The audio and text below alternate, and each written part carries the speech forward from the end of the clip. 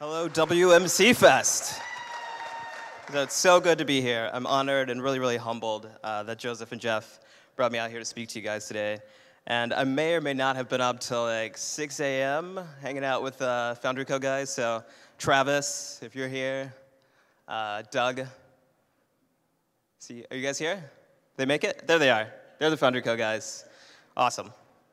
Uh, so over the last couple of years, I've been able to watch this conference grow into something I think really uh, inspiring and really, really special, something amazing and compelling.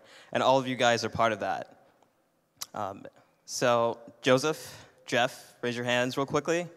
These guys, when you run into them this weekend, give them a hug, give them a high five, buy them a drink. Super, super uh, special guys that have done so much work to put this conference on and put everything together. So uh, big round of applause for them. Big round of applause for the Kickstarter supporters, for all the volunteers this weekend. Um, so, as we were traveling here, uh, well, first, I got this nice gift of Jesse up here. And I think WMC Fest is really special, and it, it provides moments like this one from last year, which is really great. Um,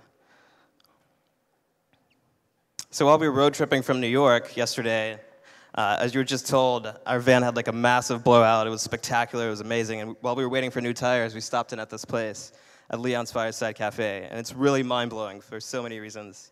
If you're ever in Pocono Springs, stop by Leon's, and Johnny will take great care of you. Amazing place. So, first, a little bit about my background. Uh, after getting a BFA in design uh, in the summer of 2011, I went to London to study typographic application and theory in the typography summer school program in East London, which is a really fantastic experience. If you're really into type design and you want to spend some time uh, over summer in London, I recommend it highly.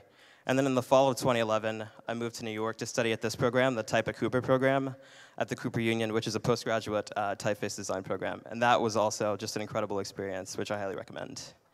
Um, while I was there, I made this typeface which should be out next year. So look out for that. Um, and for the past couple of years, I've been working at the collaborative workspace Studiomates. Studio Mates, shout out right over here, um, in Dumbo, Brooklyn.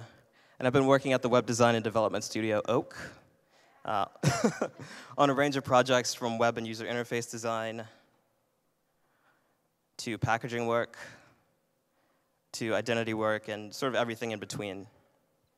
And I'm really excited to be able to have this platform today to announce that starting next month, I'll be working full time under my own name for the first time. So it's really exciting. Thanks, guys.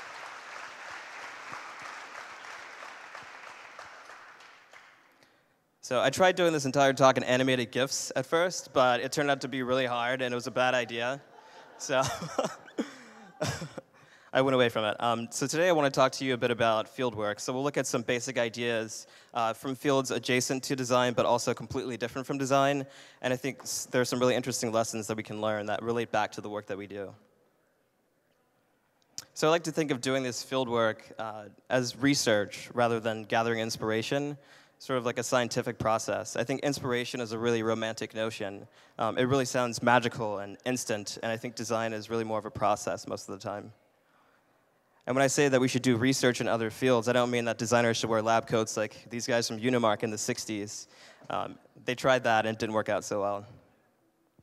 You can see they look so thrilled about it. So the specific areas that we'll look at today are five, uh, five different areas. Architecture, filmmaking, food, anthropology, and music. And these are areas that I'm personally curious about, um, but I also think that they're varied enough to provide some unique perspectives on our work. One of the things that initially attracted me to design is how open-ended it is. Like you can sort of use anything to inspire your work, I think. Um, and in spite of that open-endedness, I often find myself surrounded by like design things all the time instead of being inspired by things outside of it. And I think it leads to this really disproportional relationship. If we think of design as this big red circle and kind of other fields as this smaller white one, I think it's really easy a lot of times as designers to focus on design to the exclusion of other disciplines. And really, the relationship should be more like this. If design is this red circle, it's sort of one of many fields that are worth uh, exploring, I think. And I think the more that we explore other areas, the more informed our work can be. So this talk is a little bit about that. If you've ever searched for something on the internet, and then like 30 minutes later you look up and you're on a completely different thing from what you started out from, then you're familiar with the concept of wormholes.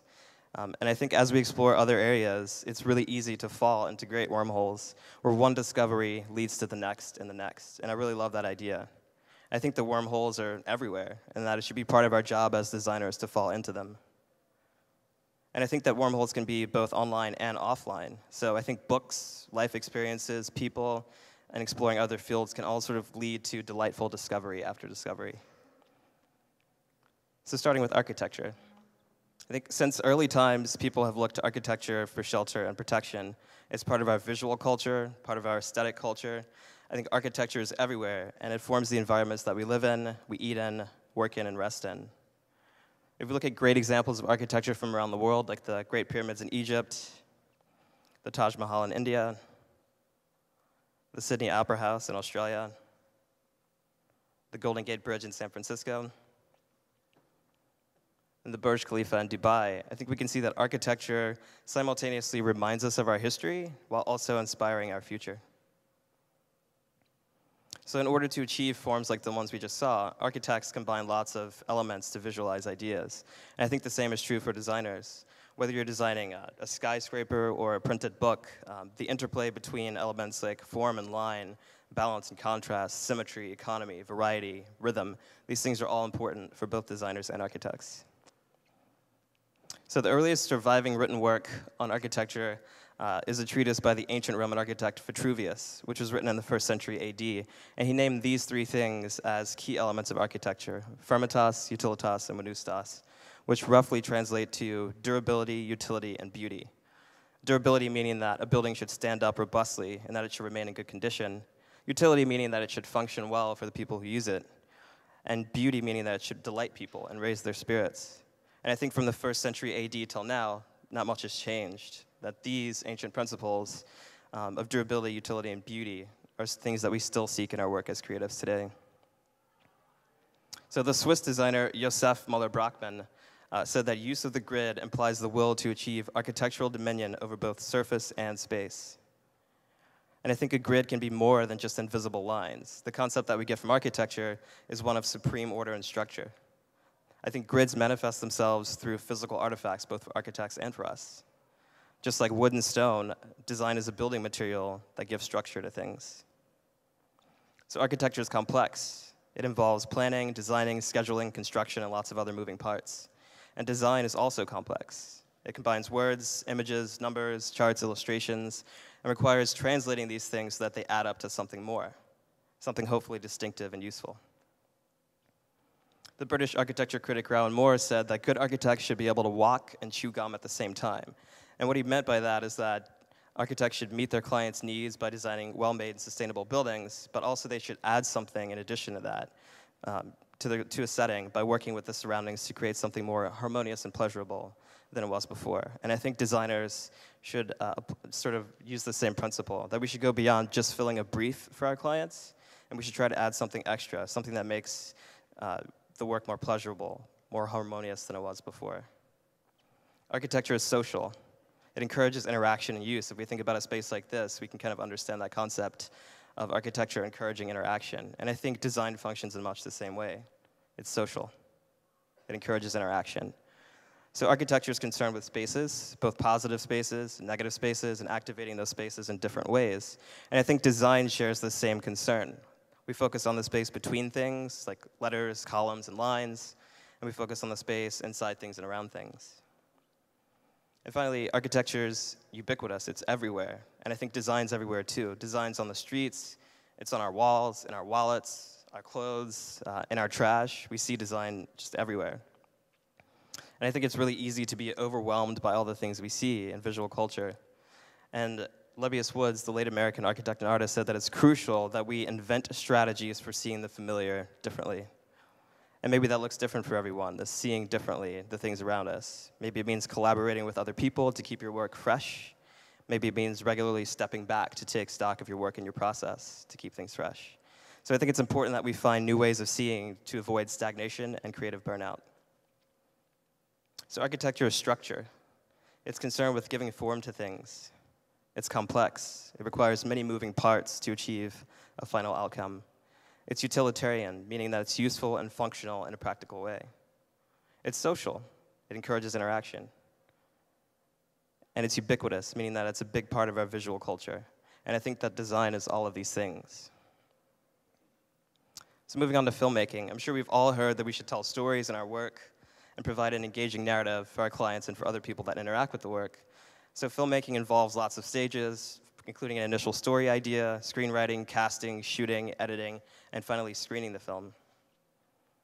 And the writer and filmmaker Adam Harrison Levy says that you need to have the eye of a painter, the ear of a composer, the story sense of a writer, and the ruthlessness of a commodities trader to be a top notch film editor.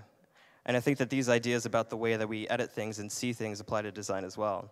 A good designer sees like a painter, hears like a composer, has the narrative control of a writer, and isn't afraid to get rid of things that aren't working. The legendary film director Stanley Kubrick was known to be obsessive in his process of making movies. Once, when he was asked how much time uh, he'd spend planning before starting to shoot a scene, he said, I think about a film almost continuously, as many hours as there are in the day and days in the week. So, in spite of that obsession over his work, he regularly would change things up on set. Even though you would think he would have everything figured out, he still changed things up on set pretty often. So I think it's okay that we obsess over our work as designers, but we shouldn't pretend that we have everything figured out. I think it's important that we remain open and adaptable in our approach to our work. In writing about Kubrick's work, uh, the British director and writer Christopher Nolan said that with Kubrick, there's great trust in one correct image to calmly explain something to the audience. So we'll take a look quickly at a couple of uh, cinemagraphs from Stanley Kubrick's work, showing his use of powerful, arresting images. And as we watch these, think about what they make you feel, what Kubrick might have been thinking when he made them. These are from The Shining. Hopefully they play. There we go.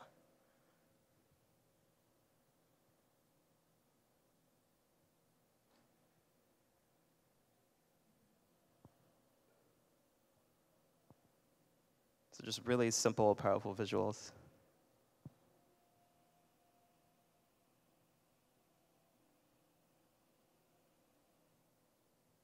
This is Full Metal Jacket.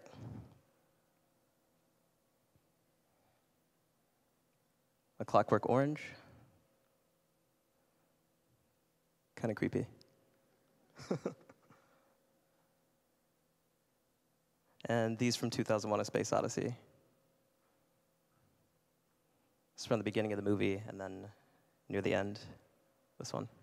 So I think this kind of powerful image making that we see in Kubrick's work is something for us to work towards in our own work. Um, I think both making powerful images and then also having the confidence that Kubrick had that those images will connect with our audiences is really important. So any good filmmaker will tell you that it isn't about process, but it's about the concept. It's about the idea of a film. Either it works or it doesn't. And I think you could also insert designer uh, into that phrase. Any good designer will tell you that it isn't about process, but it's about concept. Either the idea works or it doesn't work. And a good story is really important in filmmaking. For design, it's just as important. You have to lay out visual cues for your audience as you tell a story to show that things are connected and that they have purpose and meaning. So, usually in filmmaking, if a story still works without a scene, it gets cut. So, we need to be smart editors in the same way of the things that are in our work the Danish film director Nicolas Winding Refn said, uh, I think he's probably best known for directing Drive, ladies. he uses this concept of organic screenwriting in his work, which means that he assembles his films not as whole stories, but as individual associated images, and then he eventually juxtaposes those images together to make his films. So I think sometimes breaking our work down to its smallest parts and reassembling it proves a great way to get started or work through issues that we're having. I think we can find our work through its pieces, break and assemble. And finally, I think like great actors, as designers, we attempt to inhabit the character or the story of a brand or a client and fill those stories with personality, wit, and levity. So designing is a kind of acting. So filmmaking is story. It's providing an engaging narrative. It's concept. It's a purposeful idea that works. It's editing, so it's removing things that don't work and adding things that do work. It's obsession, which means it's deeply cared for. And it's acting, it's telling a story by inhabiting a character. So filmmaking is all these things, and I think design is also all of these things. Moving on to food, probably my favorite section, especially because I'm really hungry right now. there are lots of aspects to food culture the ingredients and their preparation, the cooking process, the design of the kitchen and the objects in it, and then finally the serving of food and the enjoyment of food. And since ancient times, people have gathered around food, not only for sustenance, but also to share ideas. Our tools have evolved since ancient times. The ways that we prepare food, present food, consume food, have all changed in different ways, but the basic act of eating is the same as it was thousands of years ago. And that exchange of ideas, that community aspect of food, I think is really key. If we think about how many times we've already gathered around food uh, this weekend, we can see that community aspect. So food has power. It has power to bring people together around ideas. And I think with design and creativity, there's the same power to bring people together around ideas. So both food and design can help build community. As communities gather around ideas, consensus can be formed uh, and ideas can be elevated. Understanding the power of community is really key, I think, for us in a world with so many networks, both online and offline. So, to work with food is to have an instant connection with people's memories, tastes, and feelings. Food has an ability to connect with people in deeply personal ways. Maybe a certain taste or smell reminds you of home or reminds you of childhood. And I think design also has this ability to have an instant connection to people's memories, tastes, and feelings. So, working with food is the combination of many parts to make a harmonized whole, something that tastes good. And design is much the same. It's a lot of bits and pieces working together to form new combinations of things. Another interesting thing about food is, unlike other things that we consume in our daily culture, uh, food actually goes into our bodies. We internalize food and we live with it. And I think good design is much the same. Uh, it can hit us here in the head and in the heart, and we internalize good design. We live with it maybe not in an explicitly physical way like eating, but we digest design in a very real way nonetheless. So we eat for nourishment. Without eating, we would wither away. And I think creativity and design are the same. They're vital. Without them, we'd wither away. We're nourished by them. And I think it's hard to discuss food without thinking about the vessels that food is served in. How does it change a meal if we eat it on fine china versus a paper plate, for example? So think about the vessels that hold design. What are the physical artifacts of design? I think just important as the work we create is how we serve it to our audiences. And there's this notion of provenance in food, where something comes from. It's become really important. So, definitely back home in Brooklyn, and I'm sure around the country, people are expecting transparency and honesty these days about the origin of goods and ingredients, about where their food comes from. And I think this hints at the idea of transparency and honesty in design, the notion of provenance. And that can take many forms. Maybe it means being more open about your process with your audiences and clients. Maybe it means carefully selecting the people that you work with to make sure that their values align with yours. So it's important for us to be transparent and honest in our work. And finally, this uh, from the French designer Philippe Starck. Uh, he thinks that in the future we'll no longer need furniture for eating, that food will always be consumed during movement, during action. He says the idea to stop and sit around a table will be obsolete in the next generation. So that makes me wonder what notions we'll have to let go of as designers as we look to the future. What is the furniture that we'll no longer need? So, food is community. It's gathering people around ideas and sharing. It's personal, it connects with people in different ways. It's consumed, we internalize it. It's nourishing, we're fed by food and sustained by it. And it's harmony, it's finding balance among many ingredients. And I think design is all of these things as well. I think you're probably seeing a pattern now. so, anthropology. We'll look a little bit about how culture and context are important for creative people. So, as designers work with and for a wide range of people around the world these days, I think the knowledge and skills of anthropology are increasingly relevant for us. So anthropology comes from these two root words, anthropos and logos, these Greek root words. Anthropos meaning uh, human or, or man, uh, and logos meaning study. So it's the study of man or the study of human beings. And I think anthropology is different from other areas that study people as well, like psychology, for example, for a few reasons. For one thing, it's transcultural, so it looks at all human groups. For another thing, it spans human history from ancient times to modern times. Uh, and then it's also holistic, so it looks at how different cultures are linked together and how they affect people. And I think it's an important area because nothing exists in isolation. Design divorced from the context in which the end product is used is of little value to its audience. So we have to consider the environment, the culture, and the situation as part of our design process. Who are we designing for? How will it be used? And I think anthropology gives us uh, a tool set for finding these contexts. So these are all basic tenets of anthropology observe, collect, document, analyze, and compare. And I think these are similar skills that designers use in our work. So anthropologists are taught that everything is interesting, to look closer. They look at our history, our evolution, and our relationships.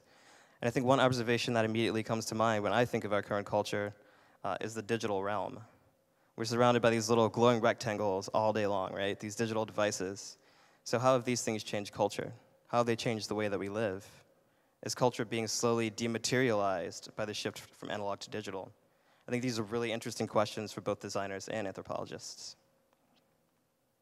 The anthropologist Margaret Mead said that if we are to achieve a richer culture, rich in contrasting values, we must recognize the whole gamut of human potentialities. And so we weave a less arbitrary social fabric, one in which each diverse human gift will find a fitting place. So from this, I think we learn that um, observing and recording culture makes it richer. And I think design is very much about those things. It's about observing and recording culture. So while observing culture, anthropologists make connections between culture and artifacts. They pay attention to etics, which is the structure, a structure or environment as perceived by someone inside that structure or environment, and then emics, which is an outsider perception of that same uh, structure or environment. And I think this gets at the idea of appropriateness in design, that we should be really, really careful about how we make things and how they'll be interpreted by different groups of people. So it's important that we make connections and gather cultural artifacts, whether analog, digital, or oral. These artifacts give us a sense of context.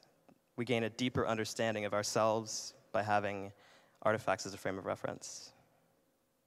Anthropology is sensory, so it's a process that demands, demands open-mindedness in the way that you look and listen. And I think this openness is a trait of both great anthropologists and great designers.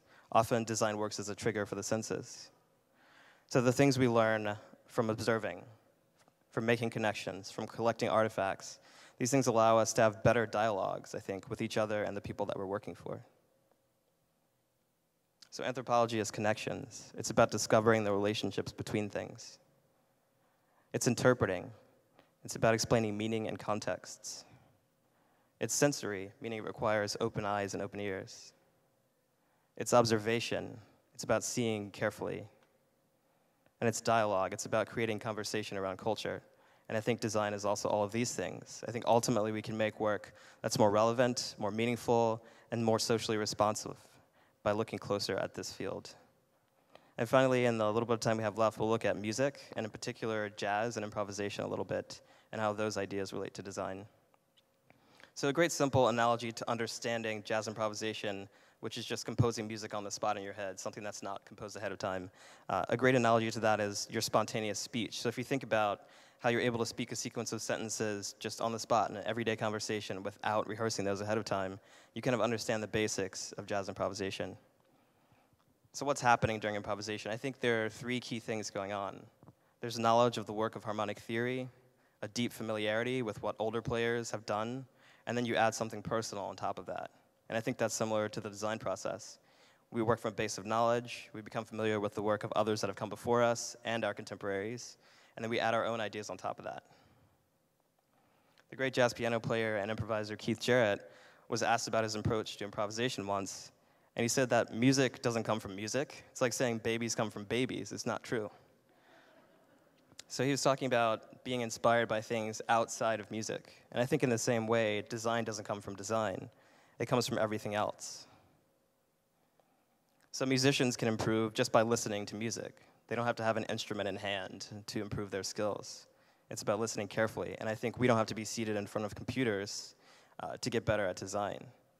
It's about absorbing the things around us. I think as long as our minds are open uh, and we're focused on improving, we can do that anywhere.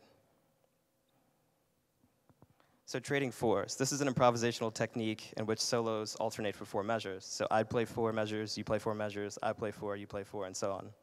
It's a collective story that works best when you build on the work of others. You're informed by other people's work, and that prompts your own response. So trading fours is a collaboration. It's conversation.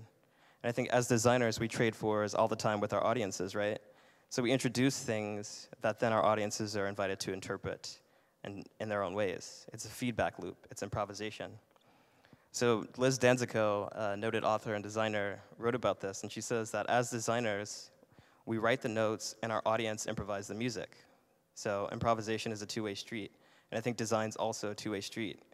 We can engage in design by making work, but then the people that interact with our work, our audiences and clients, also improvise with their reactions and their response, and they also engage in improvisation. So jazz solo has contrast, right? It's not just a string of 16th notes over and over and over again. There's usually nuance to it. it. Maybe it starts out soft, then it builds in complexity and intensity, and then it comes back down again. So I think in our work, it's important uh, that we avoid repetition and we find contrast, that we find the nuances that make our work better. So there's a lot of freedom in jazz improvisation, right? You're just playing off the top of your head and nothing's composed but that's rooted and balanced by countless hours of practicing scales and patterns. And I think that we become better improvisers by putting in hard work. Actually, hard work frees us in the same way uh, that hard work frees jazz musicians. So practice leads to freedom. It's a point of departure.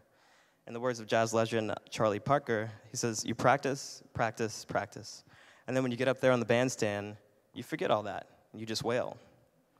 And I think that kind of freedom comes from having a solid foundation of skills. So, music is conversation, it's a collective story, it's improvisation, so it's a natural and unrehearsed response.